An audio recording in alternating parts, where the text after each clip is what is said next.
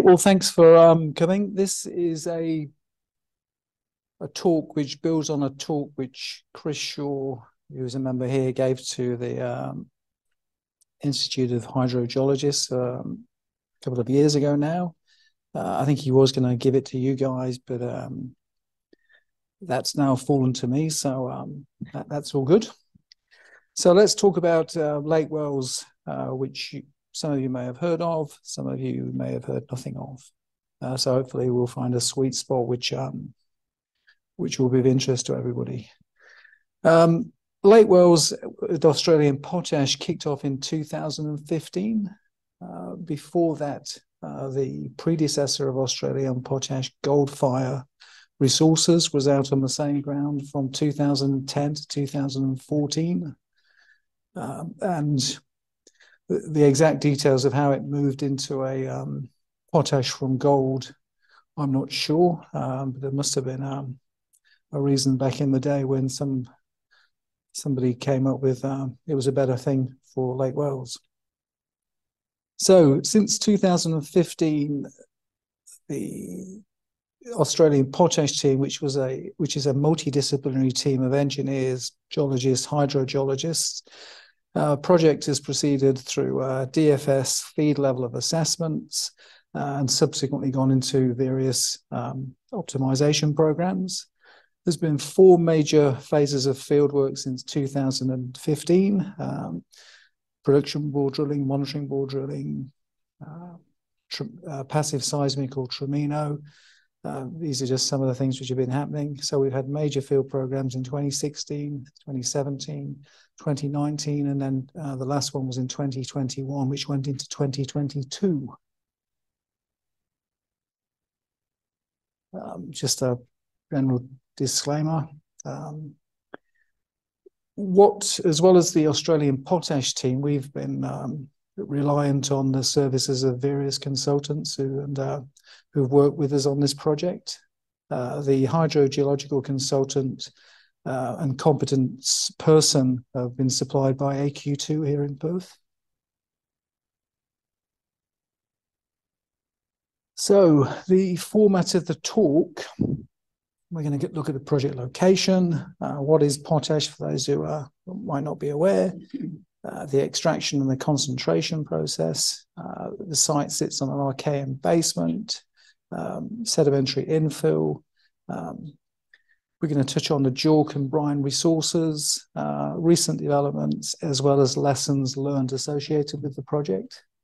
Uh, you know, we, I think the whole the four years I've been in Australian potash has been a, a lessons learned and the and the flavour of the team, the flavour of the company is it's we, we're always seeking to learn lessons and we're also seeking to share those learnings where we can. So the site is located there, almost bang smack in the middle of Western Australia. Uh, we fly into Laverton. Occasionally, we've had, had access to uh, nearby pastoralist airstrips, but generally we fly into Laverton and we drive to the site. Um, its remote location coupled with its large site means logistics and communications have been uh, will and always be um, difficult. Uh, although the site's 200 kilometers long um, and the Paleo Valley is up to 170 meters deep, um, the area in the um, the box here is the is the area, is the current area of Australian potash's interest, uh, which covers something like um, 80 kilometres. Uh, the, uh, the Paleo Valley in that uh, green box is approximately 80 kilometres long.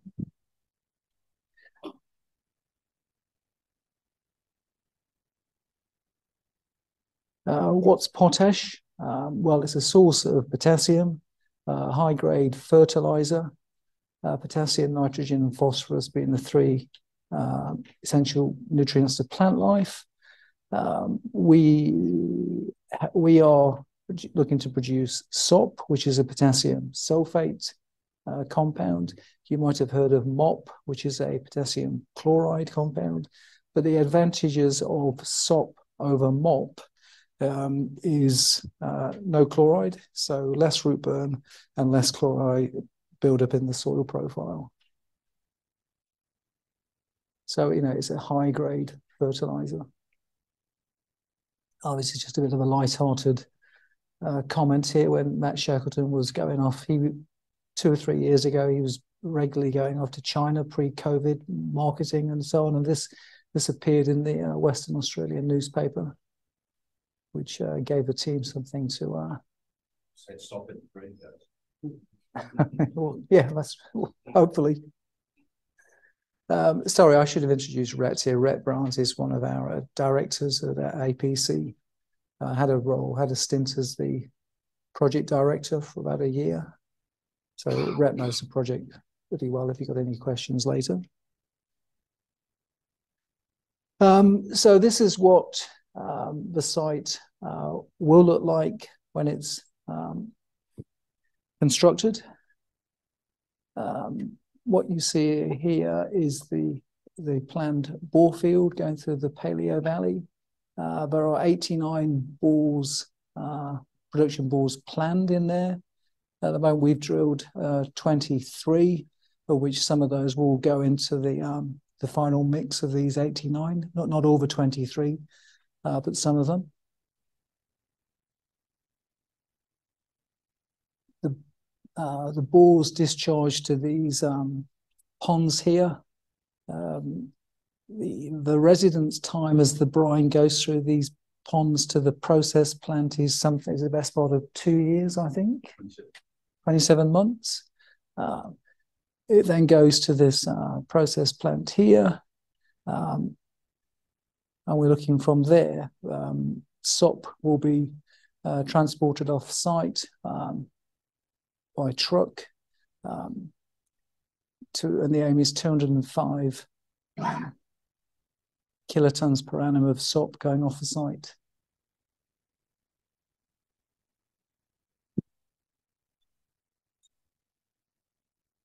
So in essence, the Paleo Valley you saw just going through that uh, bore field, um, you could think you can view it as looking something like this.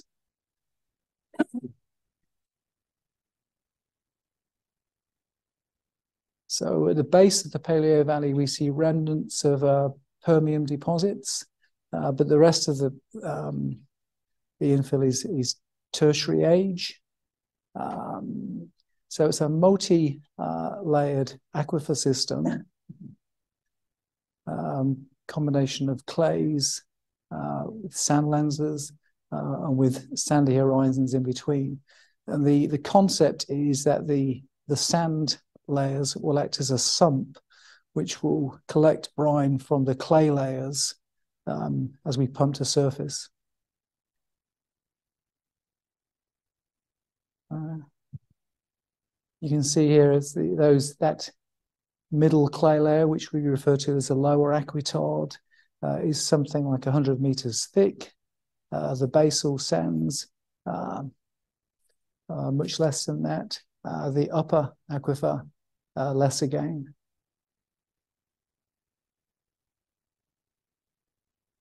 But overall, the scheme, yeah, we go back to what we said before, is we're looking to produce 205,000 tons per annum of SOP or fertilizer, pumping hypersaline brine for 30 years uh, at a maximum flow rate in excess of 700 liters a second.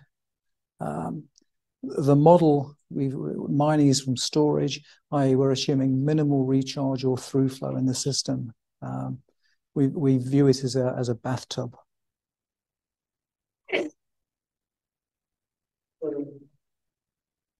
So first things first, the Archean basement. Uh, we have been uh, looking at that in the combination, looking at the mapping, the existing uh, magnetic uh, data. Uh, we've um, drilled bores in the area, um, historical mineral exploration bores from the Goldphyre Resources days, brine exploration bores post 2015, monitoring and production bores. There's been four phases of that drilling. And in addition to that, we've been doing this passive seismic work. So all of that to uh, delineate the Paleo Valley in the Archean basement.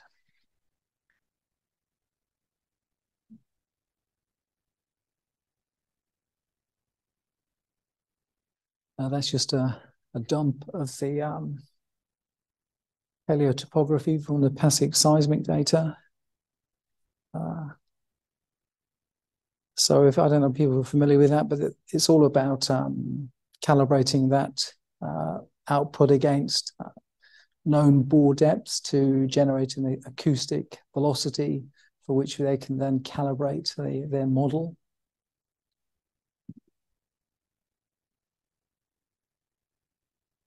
So now looking at the sedimentary profile, uh, this is one of our um, diamond holes. And what we have at the bottom here is this is the base of the sedimentary profile. Uh, this is the basement. So what we're seeing here, we believe are these glacial deposits of a Paterson Formation which has a um, an outcrop some 30 kilometers to the south west of the site. So that's the Paterson Formation there.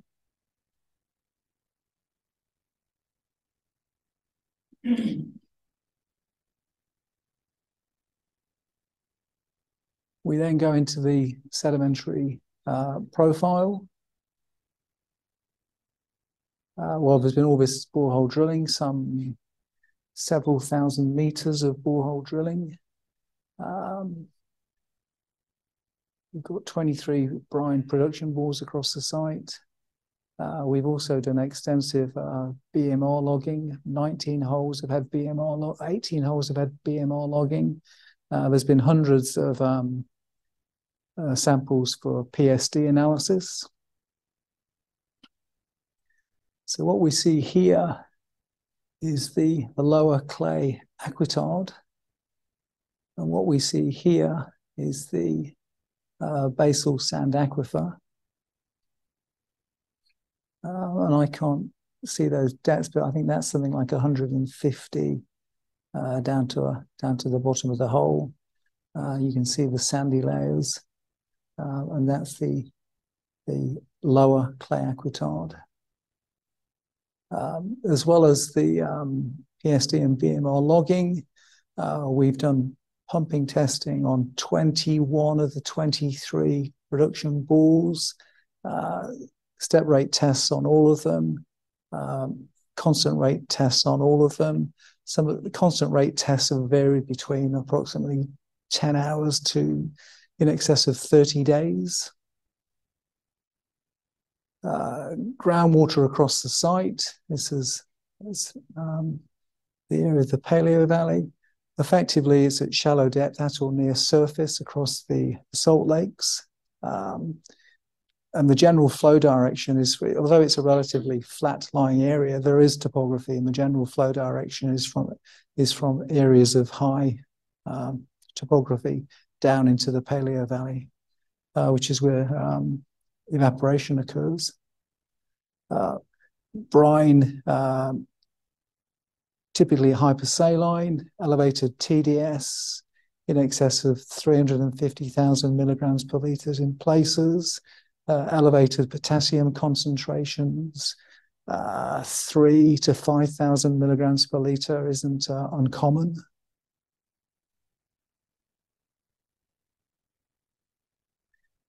Uh, these are pictures of the uh, chip samples associated with the lower clay. Um, they've probably been in those, um, it's probably been sitting there for a year. We open the chip trays and we can see all this uh, brine oozing out of the clay.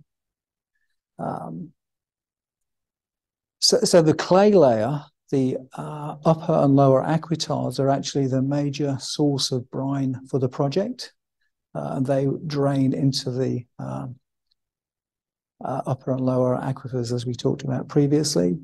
Uh, within this uh, clay layer, there are many thin sand interbeds. Uh, it's often carbonaceous.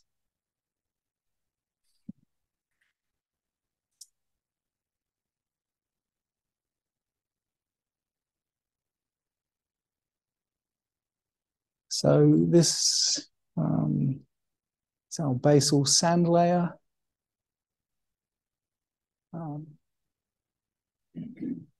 so zooming in, so coarse sand um, with this uh, carbonaceous material.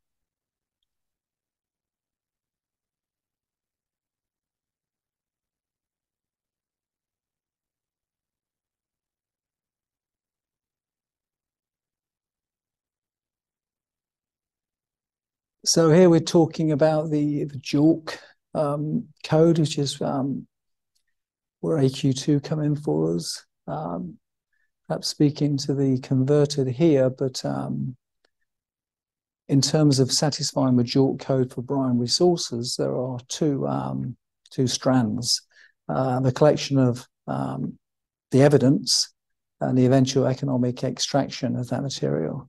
Um, well, the hard evidence um, in a hydrogeological setting includes the grade of brine. We just talked about what that is in terms of potassium grade.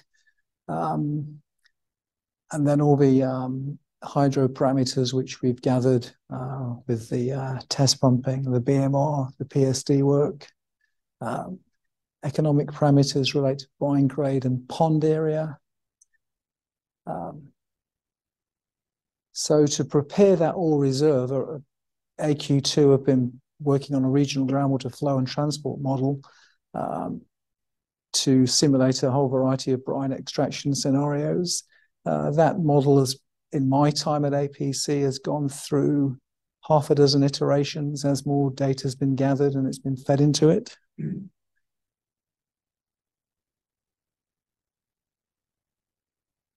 So um, hard evidence, which you, we've been what we've been collecting.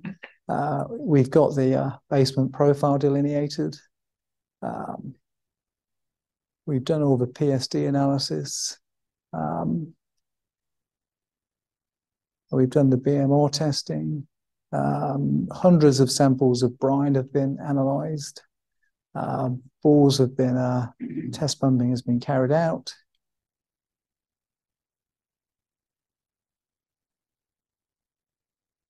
Then we now get to the nitty gritty, uh, the economics of the project. So this column here, you need to think back to that cross section where we have the from the basal sand um, uh, up through that uh, cross section. And you can see here that the majority of the uh, ore sits in the clay layers in the lower aquitard and the upper aquitard and that material will be pulled out of the ground uh, by leakage into these uh, sand units, the basal sand and the upper sand. Uh, we're sitting on 18.1 million tons of SOP. Um, so our mineral resource estimate is 18.1 million tons. Um, and at the moment, uh, AQ2's model is saying over the 30 years of the life of mine, uh, we 3.6 million tons will come uh, from ore reserve, an additional 1.52 um, will be abstracted from the um, mineral resource estimate.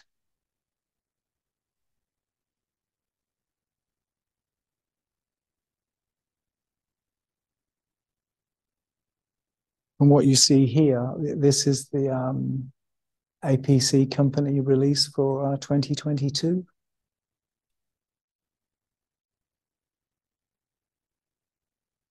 So, uh, following the latest phase of work on site in 2021 2022, uh, our predicted brine abstraction increased from our previous maximum of 126,000 uh, tons per annum SOP. And we're now looking at 135 thousand tons per annum SOP.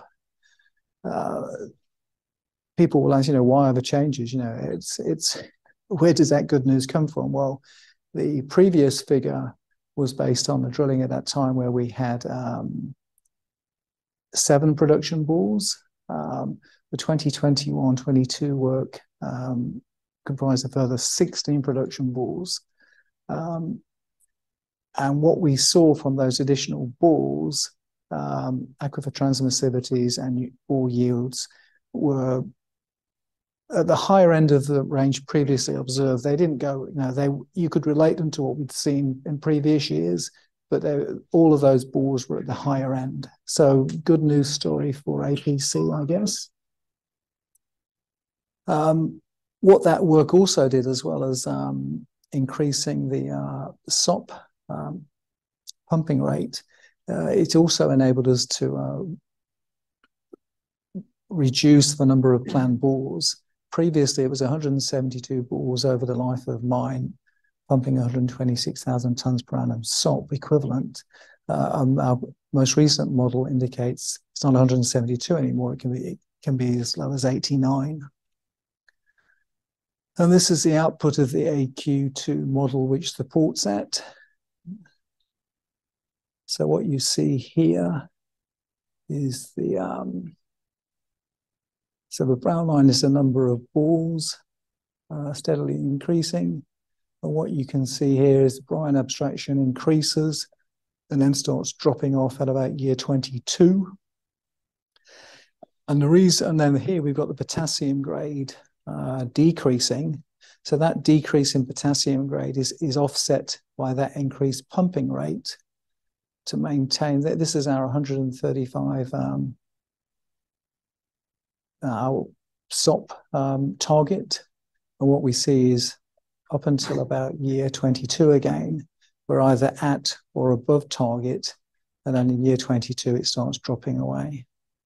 Uh, that blue line there is the actual SOP coming out the ground, but um, we factor in a 20% losses, so that blue line becomes that green line.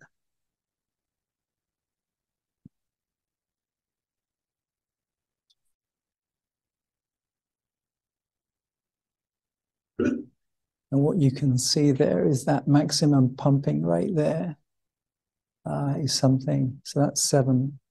So it's in excess of 750 litres a second pumping rate.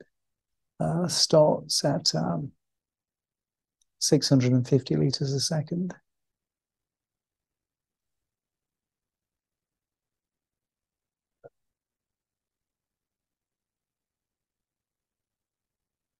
Um, well, we talked about the company's always been um,